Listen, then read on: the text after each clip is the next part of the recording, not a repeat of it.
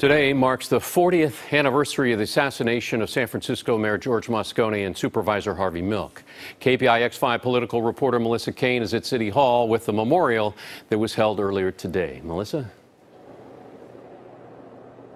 Yes, we're here at City Hall right outside the mayor's office, and it was here 40 years ago today. Then Supervisor Dianne Feinstein delivered news that shocked San Francisco.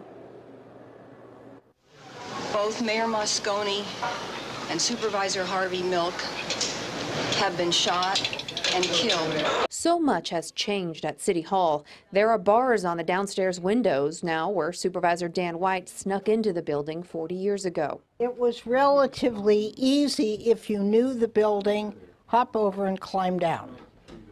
And that's exactly what he did. White then went to the mayor's office and shot George Moscone, then to the Board of Supervisors office and shot Harvey Milk.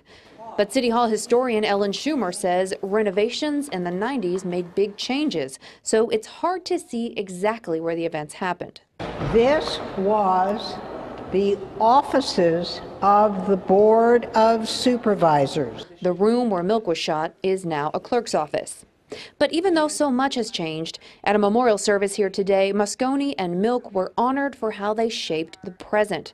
Mayor Breed says Moscone opened doors for minorities and women. To appoint African Americans, to appoint women, to appoint members of the LGBT community to commissions was significant at that time. She says that commitment to diversity endures. Just look at our city's leaders.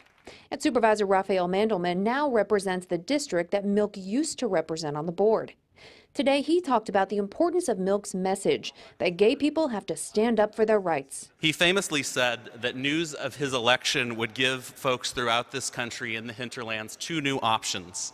Um, move to San Francisco was one, uh, or stay and fight. Mandelman says they did both and he points to the midterm elections. Part of that blue wave was 150 out LGBTQ people who were elected to positions around this country. Okay. Now, tonight, as is the case on every anniversary of this tragedy, there will be a candlelight vigil. It starts at Castro and Market Streets at 7 p.m.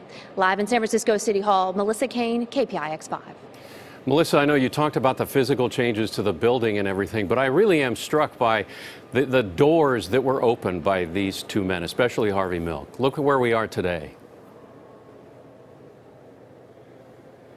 Uh, that is so true. I mean, just looking at that lineup of people now, the only openly gay member of the Board of Supervisors is Rafael Mandelman, but we've got two members of this community college board uh, and other members of the London Breed administration and other elected city leaders that are openly gay. So, absolutely here and as Supervisor Mandelman pointed out, across the nation. And London Breed herself breaking ground, so everywhere. Melissa Caen, thanks so much.